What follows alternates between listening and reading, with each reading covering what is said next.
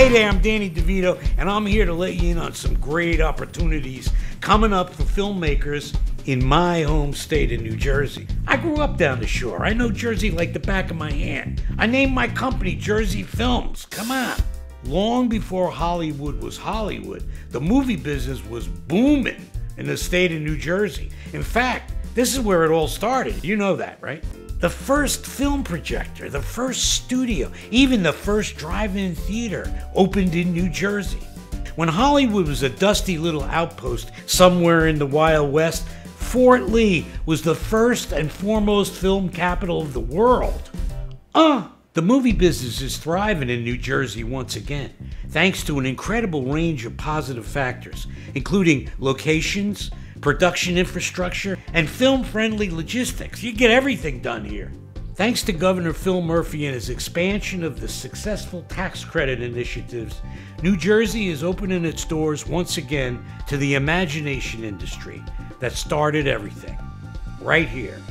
Innovation is in our DNA here in the Garden State, and we're ready to welcome the next wave of content creators, innovators, streamers, dreamers, gangsters, animators, jokers, saints, sharks, and jets to discover what we always knew Jersey's got it all. When I get a call to explore where are we going to shoot this or where should we schedule a budget and look into it, that I call the film commissions.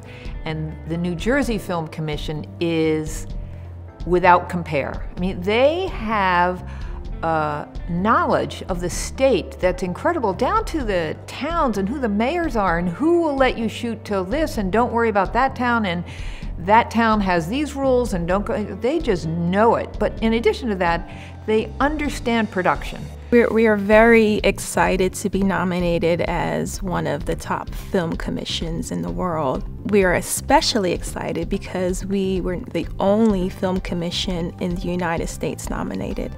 And so that is a, a, quite an achievement for the New Jersey Film Commission and for New Jersey in general. You need to know a little bit about everything. You need to know how the transportation system works, how school systems work, just all the things that are required, all the types of locations that are required for a motion picture or a TV show. So you need to know how these things operate and you need to know who to contact in order to get things done. What's great about Steve and David is that they will say to you is what you're really looking for is in Clifton or it's in Perth Amboy or something that is maybe a little less obvious.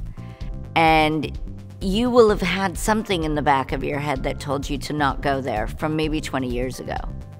And they'll say, no. And they'll say, I promise you it'll go great. And when they tell you to do that, you do it. They can answer very specific questions. And that's what makes a difference when you're trying to figure out where you're going to shoot this and you can get some real answers like, I need to know, do you think we can accomplish this in New Jersey? You can scout New Jersey without having to leave uh, your computer at this point in time. And anything you don't see there, we will help you find it.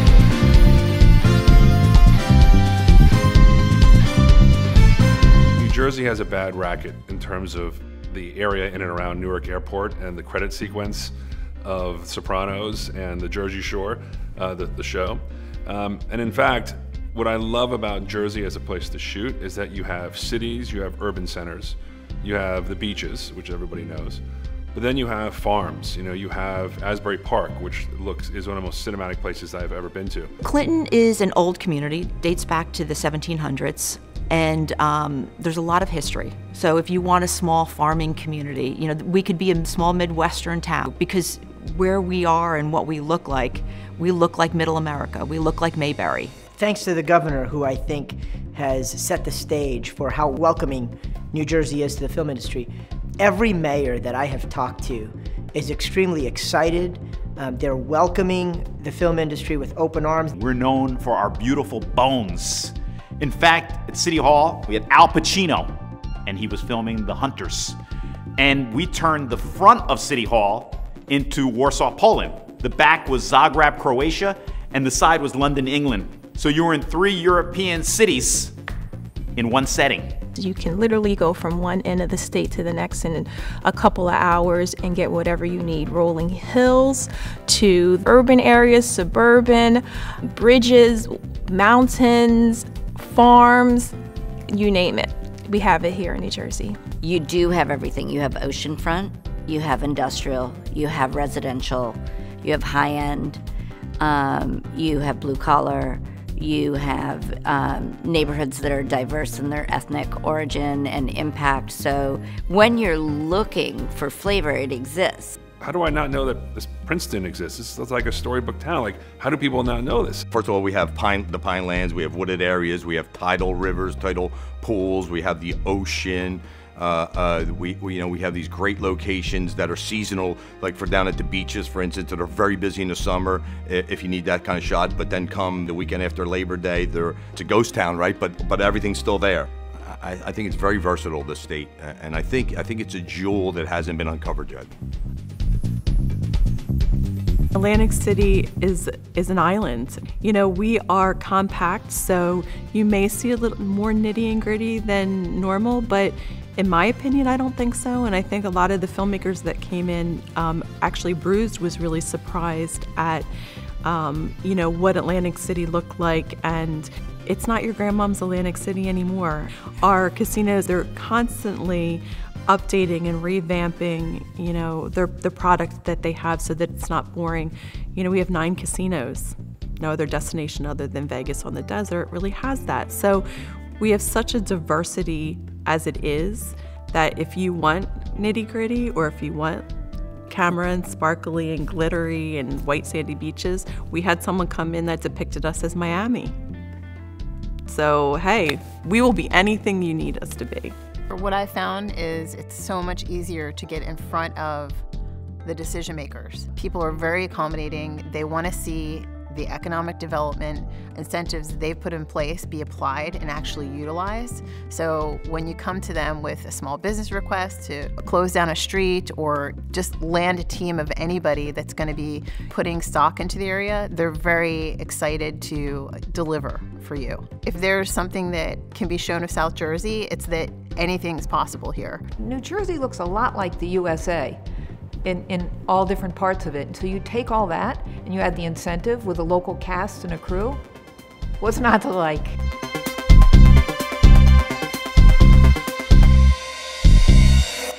To invest in the infrastructure here, not only do we get the spillover from New York, which is a big destination, but I think once you get um, a bunch of movies that have come here, and especially from studios, um, and they realize the ease and how quickly you can get the tax credit back and the crew base, the little things that, that go into a decision to shoot in a state, I think the business here will explode. Because all of the pieces work together. You've got the commission, you've got Choose New Jersey, you've got the Business Action Center, you've got Economic Development Authority. Everyone is all working towards the same goal, which is to make sure that New Jersey is open for business and available to whomever wants to come in and, and shoot. The facility that we have going at 21 Caven Point and the sister facility, which we will be starting construction on, on 41 Burma, each of those projects are approximately 45 to 50 million dollars.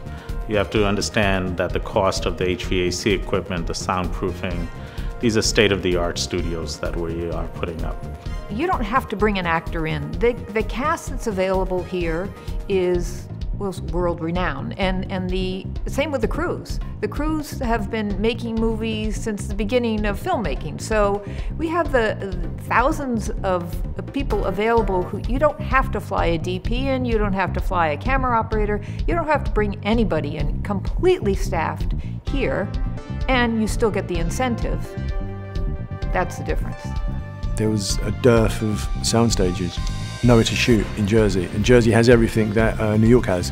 It has the architecture, it has the infrastructure, it has everything, but there was nowhere for productions to shoot. So it took a while, a lot of planning, and we're there. So we've got 23,000 feet under the uh, pipe grid, 27 feet to the pipe grid. It's fully sound mitigated. You know, it's important to find states that have crew bases because there are a lot of states um, and countries around the world that have great tax rebates, but they have no crews.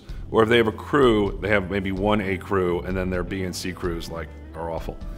I learned that the hard way. New Jersey, because of its proximity to both New York and Philly, um, and because a lot of crew members that work in New York and Philly actually live in Jersey, that there's a pretty um, a, a well-established uh, crew base for a state that has such a new tax credit. When the tax credits came, when the governor rolled those out and then we said we want to do a film studio here, I said this would be a perfect thing to rehab this building and put it back into its natural state. And that's why we left all the walls open and left it what it looked like. A 200,000 square foot, four stage movie studio we're getting ready to start to do. And there'll be four separate buildings that'll be added on. As the demand comes, we'll keep increasing. We need the people that work in this industry to know that they can be here and based here, that work will come here. The given point, New Jersey's workforce, its rich locations, uh, its ease of coming to, whether it's by plane, by train, by highway, will, will stand on its own because we have so much to offer. But that infrastructure piece has been missing, and that's going to be rectified.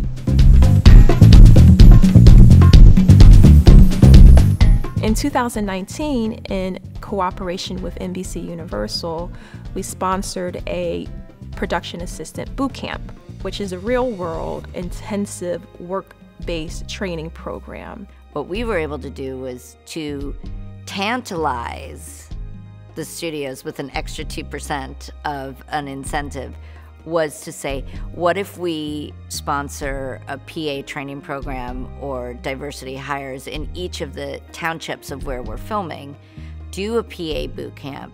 And so then our influx, our, our financial influx into the economy there isn't just, okay, for this little window of time where we're filming, we're actually cultivating new, new and future filmmakers. They need what New Jersey has, which is cooperation.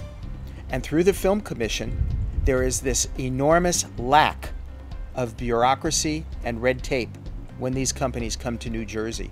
We make it easy for them. We have the greatest staff in the world. When people can't get things done in other states or run into interference, they tend to come to New Jersey, and better yet, once they film in New Jersey, they tend to come back and that is the earmark of a great great program. When production companies are interested in New Jersey, they know that they can get the full red carpet rolled out for them. As is perfectly obvious, New Jersey has everything.